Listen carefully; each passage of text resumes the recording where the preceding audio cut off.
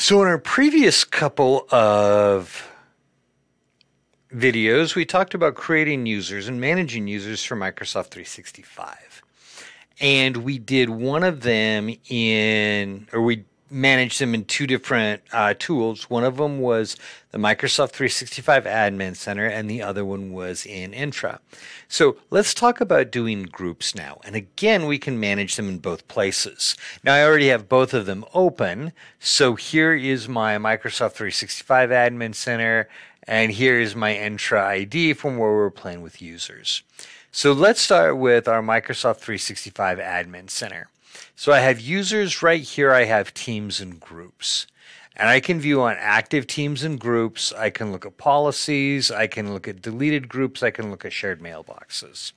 So I'm going to start by creating a new group.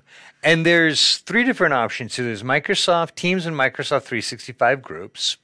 There's distribution lists, which are only for email.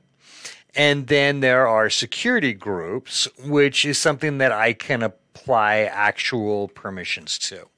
So Microsoft Teams and 365 groups, they're just going to give you a fair amount of options for this particular group. A distribution list, no security, just send an email to this address and it goes to everybody in the list. The security groups I can apply security permissions to, but also notice that I can add a security group. I can also add a mail enabled security group, which again, same thing, email this address for the group. It goes to everybody that's in the group. Works the same way as a distribution list, except that in the security group, I can also add security permissions. Okay, we're going to start by creating a Microsoft 365 group. So add a team. This is obviously for teams. So I'm going to add a Microsoft 365 group. I'm going to call the group name Hobbits. And then add a description if I want. Click next. Assign owner. That's the owner has permissions to, and you see right here. Add or remove members, delete conversations from shared inbox, change group settings. So I'm going to assign myself as the owner of the group. And then next I can add members. And since this is Hobbits, I'm going to go ahead and add all three of these. And then that sets my members. And then settings, what's my group email address? So just like with the distribution list or the mail enabled security group, if you email hobbits at this domain, it's going to go to all of the hobbits in this group. And then I can set my private uh, privacy. Do I want this to be a private group or a public group? So I want this to be a public group. Role assignments should be enabled only when the group is private. Yeah, if I do private, then I could do um, role assignments, but I can't add teams to role assignments groups. So that kind of kills that. So I'm going to go ahead and make this a public group. Oh, I can uncheck create a team for this group, and that would allow me, do this private, to allow role assignments.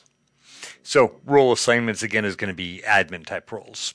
So I don't want to do that. I do want to make it a public group. I do not want to create a team for it. So I'm going to click next. If I was using teams with this group, then yes, I'd create a team for it. Edit all of my settings. I'm happy with it. So I click create group and that creates my Hobbits group. So I'm going to click close, and here is my Hobbits group with their email address, and then I'll edit it just by clicking on it and making whatever changes that I want. Change the email, change the membership, change the settings. And if I go into my users now, so let me go to users, active users, and I'm going to open up Frodo Baggins. So if I want to manage, let me see if I can find their groups right here. They're part of the Hobbits group. And if I want to manage the groups there, and I can do it here. So I can either go to the group and manage membership, or I can go to the user and manage groups. So two different ways to accomplish the same task. Okay, that was all there was to create a basic Microsoft 365 group. Now, I can do the same thing or very similar things, let me put it that way, in Entra, where I can go to groups, look at all of my groups, and here I should see my Hobbits group. Okay, perfect. And I can create a new group I can also edit properties here. So click on it, view my direct members, users, groups, devices, group membership, group owners. So, properties of the group, anything I want to do to manage the group. Go back to groups, and I'm going to create a new group. And for this one, I get to select the group type here. Now, notice this one does not have Microsoft or does not have a distribution list. That's only in the um, Microsoft 365 Admin Center. But I can create a Microsoft 365 group. And for this one, I want to do one for ring bearers. There's my group email address automatically populated, description if I want, membership type. Let me select my the uh, group sensitivity labels, classify and protect Microsoft 365 groups. My membership type, notice um, this isn't giving me the option to change it right now. So you have to have something specific in order to be able to create a dynamic uh, group. So I'm going to set an owner, uh, owner. There we go. Select myself as the owner. And then for my members, I'm going to leave Sam out of this because he only bore the ring for a little while. So I'm going to add Frodo and Bilbo and click, click select. Okay. And then I am going to create. Now notice this did not have the Teams integration and does not have the distribution list. Okay. So we've now managed both users and groups. Oh, let me refresh this so we can see our new group as well. We've now managed both users and groups in Microsoft 365 and uh, Admin Center and in Entra.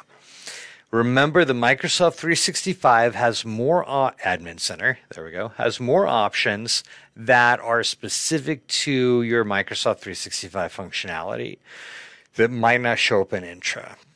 But the users you create in the Microsoft 3 users and groups that you can create in the Microsoft 365 Admin Center also show up in Entra ID because that's technically where they're actually stored. The 365 Admin Center is just a different interface to get to the same users and groups. Okay, hope that's helpful, and I hope that amongst these three videos, we've given you an idea of how you can manage users and groups in for Microsoft 365 in both the Microsoft 365 Admin Center and in the Entra Admin Center.